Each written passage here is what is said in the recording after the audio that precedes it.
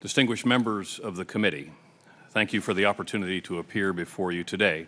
General John Allen is often called to appear before his political leaders in Washington to update them on the mission he leads in Afghanistan. Campaign. He may yet have more explaining to do because during his command there, he has found the time to send a lot of emails. The FBI says it's uncovered 20 to 30,000 pages of communications between the general and this woman. Jill Kelley. Communications described as potentially inappropriate and which are now being investigated by the Defense Department.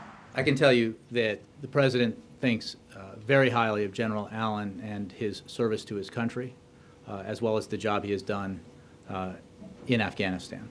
At the request of the Secretary of Defense, the President has put on hold General Allen's nomination uh, as Supreme Allied Commander Europe, pending the investigation uh, of General Allen's conduct by the Department of Defense. General Allen denies any wrongdoing, but his relationship with Ms. Kelley, who's a volunteer at the Florida military base where he used to work, connects him with the scandal which has already cost the former CIA director, David Petraeus, his job. Allen succeeded Petraeus as the commander in Afghanistan last year. Jill Kelley is a long-time friend of the Petraeus family. She claims to have received threatening emails from this woman, Paula Broadwell, who had an affair with David Petraeus, which led to the scandal which forced him to resign last week. There is disbelief across the Washington establishment that two of its most experienced professionals could have got themselves tangled up in even the suggestion of inappropriate behaviour.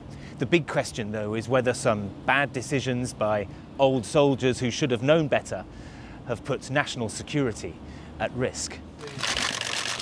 FBI agents recovered material from Miss Broadwell's house last night. The personal affairs of men the president depended upon to keep America safe are now under investigation. This scandal has got wider.